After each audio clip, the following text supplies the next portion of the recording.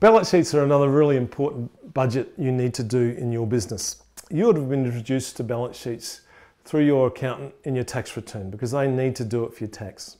We're suggesting don't use that balance sheet. It doesn't record all the value of your assets.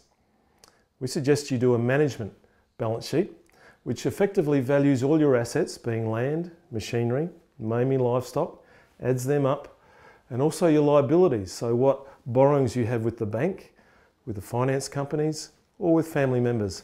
Adds those up. Total assets less total liabilities give us net worth. And that's a very valuable, in fact, it's the most valuable benchmark number you can measure in your business. And what we'd like to see is that net worth growing from year to year. That means your business is becoming wealthier, yes, but has a greater ability to manage the risks of uncertainty of poor seasons.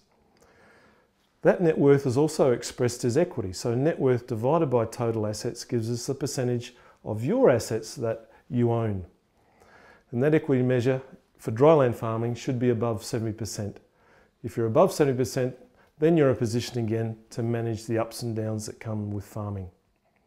And we also suggest you measure your balance sheet on one day of the year.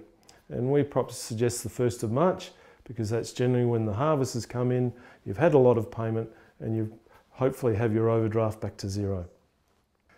Some farmers ask me, why do I do my balance sheet? I'm never going to sell the farm. It's not about selling the farm.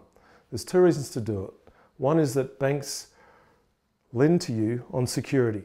Security is the amount that you own in your business, and so the balance sheet demonstrates that to them.